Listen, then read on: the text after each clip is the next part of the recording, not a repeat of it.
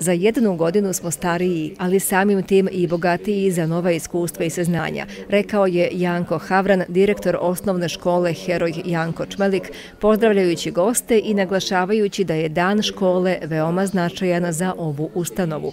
Program su pripremili učenici sa svojim učiteljima i nastavnicima. Kao gosti nastupili su praškolske grupe praškolske ustanove Poletarac, a učenici su prikazali deo svog poznavanja jezika, jer se u školi pridaje značaj učenju stranih jezika, ali i također svoje glumačke, recitatorske, pevačke i igračke sposobnosti. Sa horom su svi zavirili u sve delove sveta. Pevamo prijateljstvo. Kako je to u školi kada se proslavlja dan škole? Lepo. Šta to znači lepo? Pa zabavno. Spremili smo e, sa našom učiteljicom Miluško Stošić koreografiju Laka misa negra. Koliko dugo ste vežbali i pripremali sve ovo? Pa jedno, dva, e, tri, četiri meseca smo spremali. Pamtit ću po recitovanju, po deljenju i po raznim e, stvarima iz matematike. Ispričaj mi nešto više o tom recitovanju.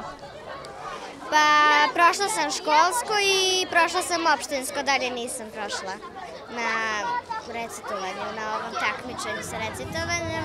I bilo mi je zanimljivo i zabavno. Školska godina još traje tako da se ne mogu sumirati rezultati jer predstoje još takmičenja na republičkom nivou, ali u školi su veoma zadovoljni dosadašnjim uspesima kao i opremljenošću. Što se tiče same imovine, to je nastavnih sredstava, E, možemo reći da smo izuzetno dobro opremljeni i tome smo posvećivali izuzetnu pažnju tokom proteklih godina.